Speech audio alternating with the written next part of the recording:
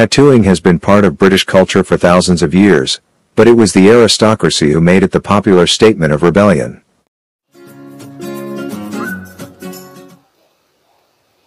It was both the scandal and fascination of the age. In 1881, the Queen's grandson and the future King George V, then just 16, received what's been a rite of passage for many teenagers ever since, a tattoo of a blue and red dragon on his arm, done by an artist in Yokohama. In newspapers back home, rumors had abounded for weeks that the young royal would soon sport the must-have of the age. Some stories wrote that the prince had already had a large arrow inked down his nose. Such was the belief in the tattoo's existence that his mother, Alexandra of Denmark, wrote a furious letter to her son. There was no face tattoo. But his inked arm, shown publicly for the first time during his audience with the Emperor Meiji, gave the royal seal of approval to an increasingly popular trend. Japan's restoration in 1868 had opened up the country for trade to the West for the first time in centuries. Almost immediately, demand for both Japanese products and culture soared. Wealthy European aristocrats began to return home bearing Japanese artwork on their bodies.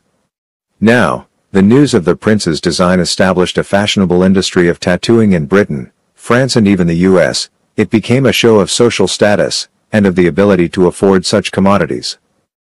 The tattooing of the future king was such a famous moment that there was a drawing imagining what it might look like in the souvenir pullout for George's marriage in 1893, says Matt Lodder, a lecturer in contemporary art at the University of Essex. So everyone knew that if you were wealthy and went to Japan, the done thing was to come back with a tattoo. But while George was perceived at the time as a trendsetter, he was continuing a pattern which had existed for centuries. Since the time of Julius Caesar, the British had repeatedly helped popularize the art of tattooing around the world. The first proven tattoos in history date back around 5,000 years to the marks on Ötzi the Iceman, a mummy found in the Alps straddling Austria and Italy. But in Europe, it became the early Britons who made the art famous, when the Romans invaded in 55 BC, they found the natives to be resplendent in body art.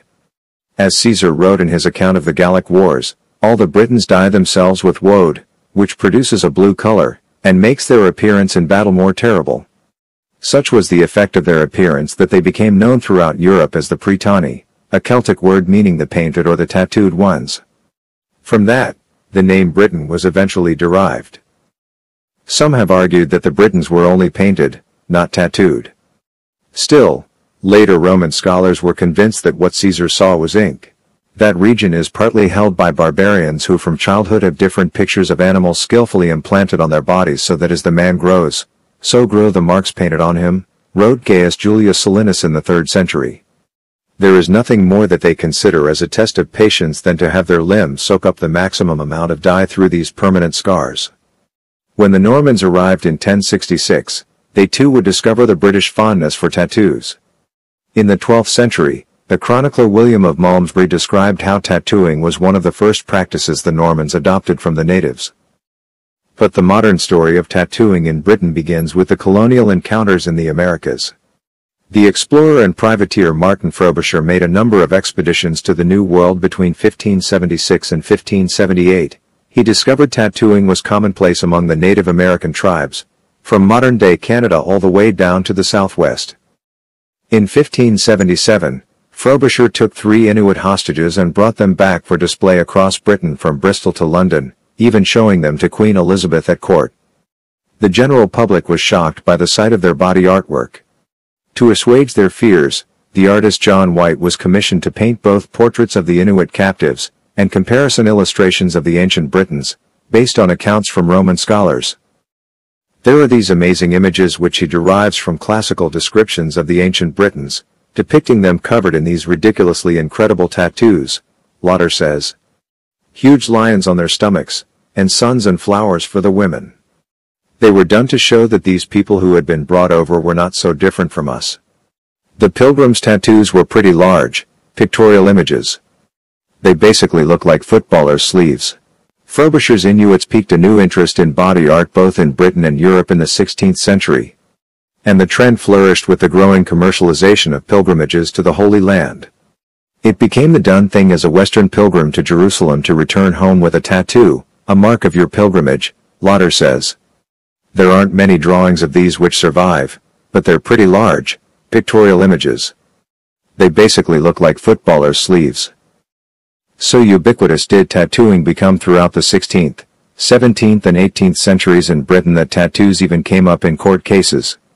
In January 1739, the London Evening Post reported the conviction of a 15-year-old thief whose trial found him to have an especially violent tattoo across his chest. On his breast, marked with Indian ink was the portraiture of a man at length with a sword drawn in one hand and a pistol discharging balls from the muzzle in the other, with a label from the man's mouth, God damn you. The story describes breathlessly. This the rogue would have concealed, but a discovery being made thereof, he was ordered to show his breast to the court, who were all shocked at so uncommon a sight in so young a ruffian. The tradition of pilgrim tattoos continued into the 19th century, and it was in this context that the Prince of Wales, later King Edward VII, was secretly tattooed with a cross in Jerusalem in 1862.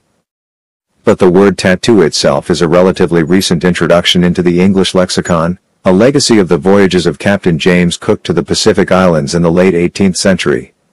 While the term had existed in the English language from the late 1600s, initially beating a tattoo referred to a drumbeat. Until Cook's voyage to Tahiti in 1769, the practice of skin art had been referred to as pricking, marking or staining. The Tahitians used the word tatau, however, to reflect their use of a mallet with which they tapped away at a long comb-like stick with needles. Cook recorded this in his diary and through various friends, the word eventually became entered English as tattoo. As well as giving tattooing its modern name, it was the British who commercialized it on a large scale for the first time in the Western world, stimulated by the explosion of interest in tourist tattoos in Japan, and by one particular legal case which captivated the world. In 1854, the aristocrat Roger Tichborne went missing at sea, presumed dead in a shipwreck. Twelve years later, he miraculously reappeared in Australia and sailed to London. The returning Tichborne was never quite accepted back by his siblings. On their mother's death, as he was set to inherit the family fortune, they launched a lawsuit claiming he was an impostor. The Tichborne trials in the early 1870s were a sensation, reported in newspapers worldwide. The case was eventually decided in a courtroom moment of Dickensian drama. It was revealed that at boarding school, the young Tichborne had been tattooed by his friends, when demanded by court to reveal his tattoo, he could not. The fake Tichborne was eventually revealed to be a butcher's son by the name of Arthur Orton and was sentenced to 14 years in jail. The media frenzy introduced tattooing to a wider audience when some newspapers suggested that perhaps all children should be tattooed, just in case they went missing at sea. An entrepreneur named Sutherland MacDonald decided to cash in. As well as giving tattooing its modern name, it was the British who commercialized it on a large scale. MacDonald was a talented artist and a former soldier in the Anglo-Zulu War who learned the tattoo trade by inking designs on his fellow comrades. As the manager of a Turkish bath in London's fashionable West End, MacDonald began offering tattooing services on a commercial basis, the first recorded tattoo parlor in history. It was an immediate success. The British fascination with the Orient was a big part of this, Lodder says, and MacDonald's ownership of the hammam was a fortunate twist.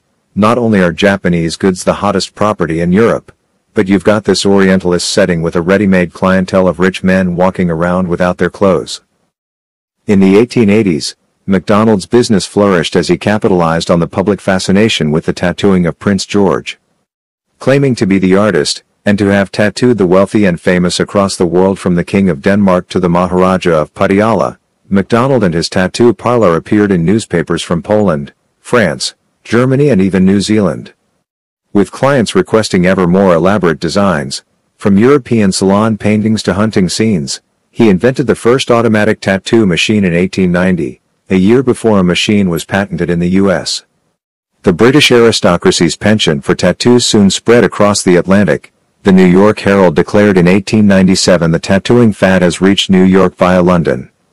With the American middle class seeking to imitate the British upper class, tattoo artists proliferated in New York. Nearly every decade since has seen tattooing declared as the latest new trend on both sides of the Atlantic. Recent surveys suggest that one in three young adults in Britain are inked. It may not be as new as we thought, but the painted Britons of Caesar's time would almost certainly approve.